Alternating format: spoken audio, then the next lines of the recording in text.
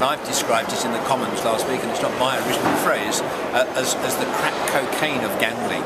It is incredibly addictive. I was allowed to bet without having to prove my age, um, and, and, young people are particularly vulnerable, which is quite worrying. I, I was fortunate enough to have cognitive behavioural therapy, which helped me kind of beat the addiction.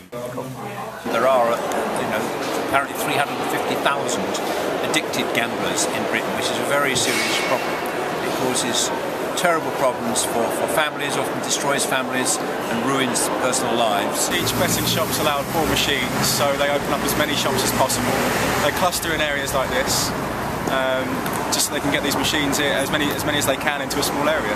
The statistics show, and I, was appalled to see it, that, that the two areas with the highest level of gambling turnover were central Manchester and Liverpool Riverside, you know, two of the poorest areas in the country.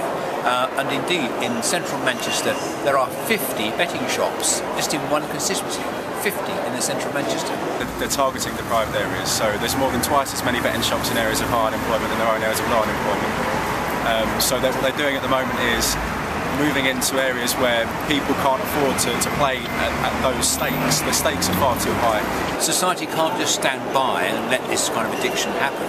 We've got to do something about it, and I would think restricting those machines in particular, but also having serious uh, constraints on gambling in general. We want to see restrictions imposed on the machines to make them less addictive.